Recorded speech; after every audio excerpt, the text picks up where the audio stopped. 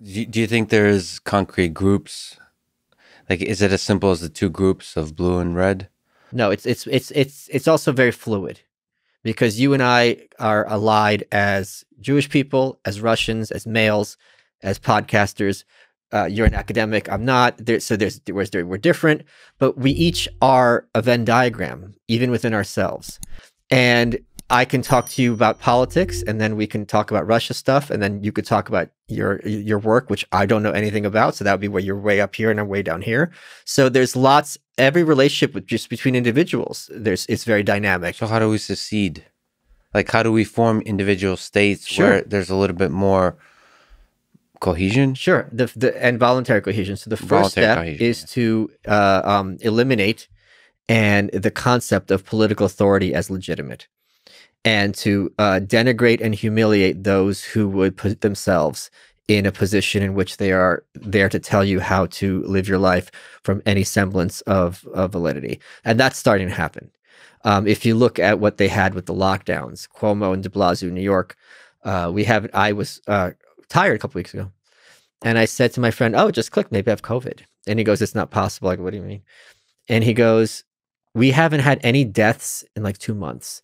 And there's only like 100 cases a day for like two months. And I go, You're, you're exaggerating because everything was still closed. Mhm. And I looked at the numbers and he wasn't exaggerating.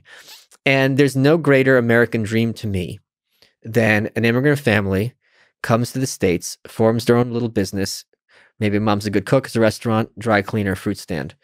And those people aren't going to have a lot of money. Those are the first ones who lost their companies because of these lockdowns. Uh, they Cuomo, who's the governor of New York, opened up the gyms. He said, "You're clear to open up." De Blasio said, "And we don't have enough inspectors. You're going to have to wait another couple of weeks." Uh, to regard that as anything other than literally criminal is something that I am having a harder and harder time wrapping my head around.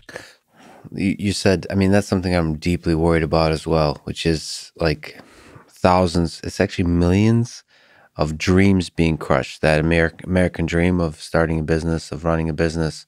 What about all the young people who you and I have in our audiences who are socially isolated at best, and now they can't leave their homes? Uh, isolation and ostracism are things that are very well studied in psychology. These have extreme consequences. I read a book called Ostracism, and this wasn't scientific, but basically the author was a psychiatrist, psychologist, whatever.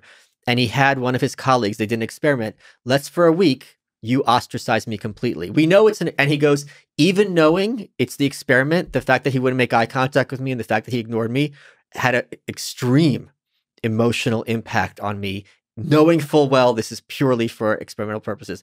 Now you multiply that by all these the suicide, the number of kids who are thinking about suicide was through the roof during all this. Uh, and my point is, until these people, it's gonna, I, I would predict like 2024. That's when we're gonna have to start having conversations about what personal consequences have to be done for these people, because until then they're gonna do the same thing. So you think there's going to be society wide consequences of this that we're going to see, like ripple effects because of the social isolation? I, I I know. I mean, we also need to talk about consequences for Cuomo and De Blasio, because if if politicians respond to incentives and the incentives are there for them to be extremely conservative, because if you have to choose, as Cuomo said in a press conference, between a thousand people dying and a thousand people losing their business, it's not a hard choice, and he's right. But at a certain point, it's like, all right, you're losing both. You're losing, not losing. The, you're you're making these decisions, um, and not having consequences for it, and you're going to do it again the next time. So we need to make sure you're, you're a little scared. Okay. And I don't know what that would mean. But you're laying this problem, this this incompetence. I don't think it's At the- incompetence. I think it's very competent. I think their just their job is to be able- malevolence. yes. But well, but you're laying it not at the at the hands of the individuals, but the structure of the of government. It's both, yes. How how would we deal with it better without centralized control? Well, we didn't really have centralized control because every country and every state, you know, handled it in a different mechanism. But a city has centralized control, Just yeah. uh, right? I mean, No, that's not true. So Cuomo and De Blasio, they had a lot of disagreements over this over the months, and this was actually a source of great interest and tension. Um, De Blasio wanted at one point was talking about like quarantining people in their homes. Cu- Cuomo was like, "You're crazy." Uh, something same thing with the schools, same thing with the gyms, um, and there were other such uh, examples.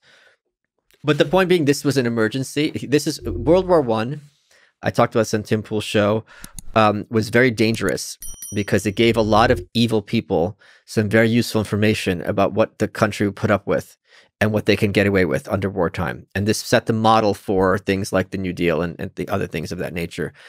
It is undeniable, and you're a scientist, so you understand this perfectly well, um, that this lockdown gave some very nefarious people some very valid data about how much people will put up with uh, under uh, pressures from the state.